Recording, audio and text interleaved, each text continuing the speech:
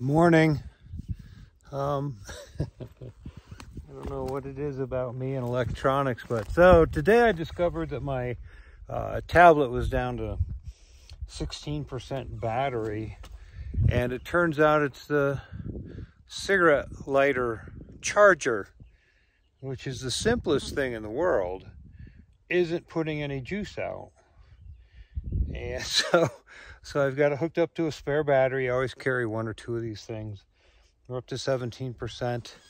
But uh, yeah, so day two is dawning kind of normal. Shit's broken. Or not broken, but not working.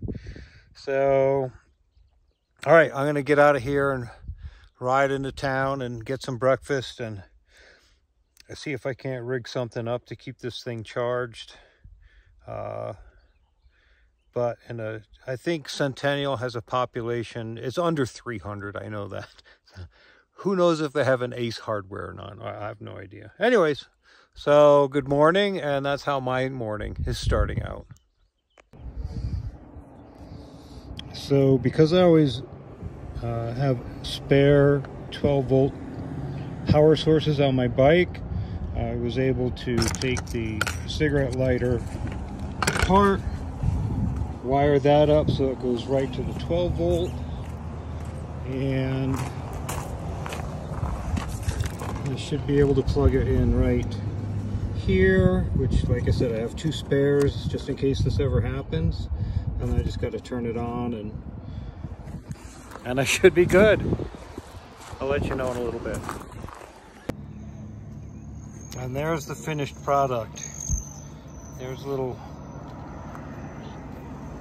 little power hub wired directly into the bike and no more Trovo cigarette lighter. I guess I can take this off now.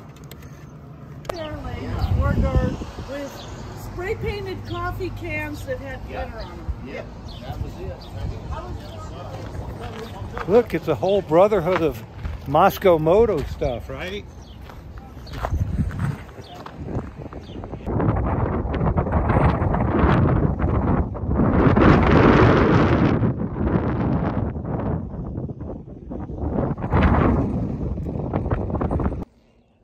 And there's section two.